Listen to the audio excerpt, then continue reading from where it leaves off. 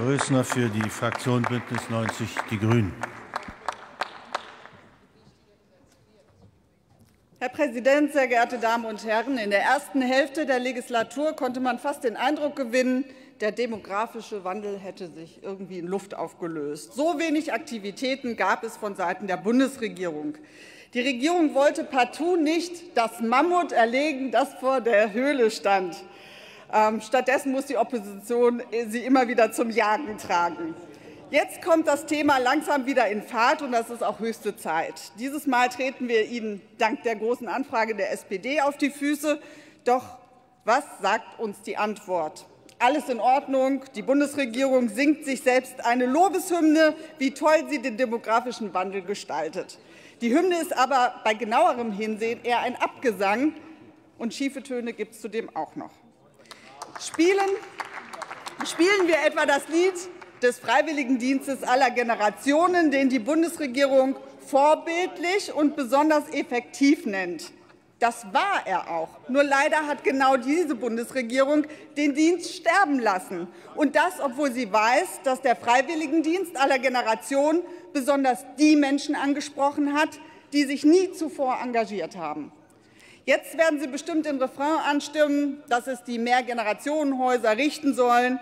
Aber die ersetzen den Freiwilligendienst aller Generationen nicht. Denn der hat es mit seinen mobilen Kompetenzteams den Leuten leicht gemacht, anzudocken. Sieht so Ihr Konzept aus, in der Vergangenheit schwelgen, Fehler aber nicht korrigieren. Der Lapsus mit dem abgeschafften Freiwilligendienst ist zwar bezeichnend für Ihre planlose Arbeit, aber er ist eine Petitesse gegen das, was sich durch alle Antworten zieht. Es fehlt etwas. Es fehlt das, was die Grundlage Ihrer Pläne zur Bewältigung des demografischen Wandels sein sollte. Es fehlt eine Vision, wie unsere Gesellschaft in Zukunft aussehen soll. Der demografische Wandel wird in den nächsten Jahren und Jahrzehnten unsere Gesellschaft komplett verändern. Und da geht es nicht darum, Herr Staatssekretär, dass die Bürger mitgenommen werden müssen oder sich darauf einlassen. Die Menschen leben doch schon mit dem Wandel. Und in der Antwort zeigen Sie auch Handlungsbedarf auf, nur die logischen Schlüsse daraus, die ziehen Sie nicht. Wir müssen jetzt in eine breite gesellschaftliche Debatte darüber eintreten, wie wir in Zukunft leben wollen und jetzt müssen wir die Leitplanken ausrichten. Aber vorher sollten wir doch wissen, wohin der Weg überhaupt führen soll. Eine Positionierung konnte ich in Ihrer Antwort finden, wie unser Land im Jahr 2050 aussehen wird.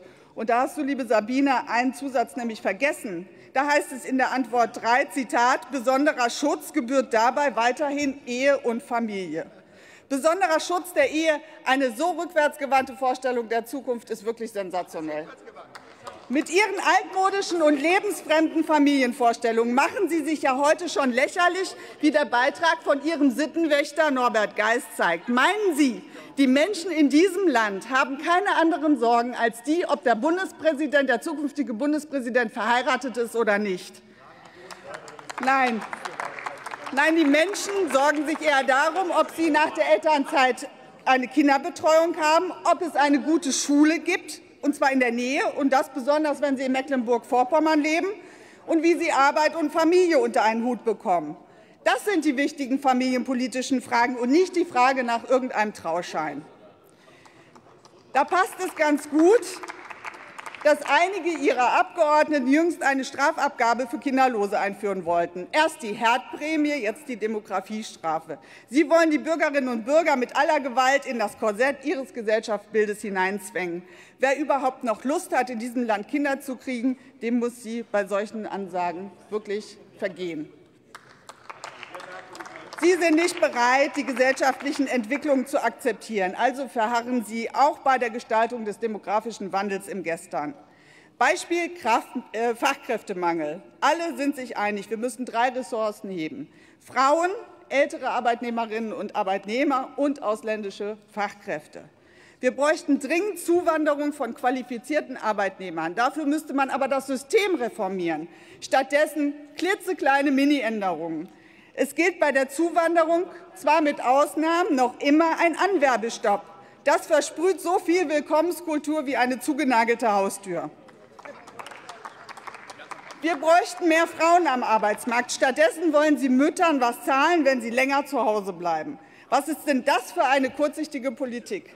Investieren Sie doch das Geld endlich in den Ausbau von Kindertagesstätten, sorgen Sie für Entgeltgleichheit zwischen Männern und Frauen und geben Sie den jungen Frauen ein Signal, dass sie gebraucht werden. Installieren Sie endlich eine echte Quote und Flexiquoten Sie nicht rum. Wir brauchen auch die älteren Arbeitnehmer.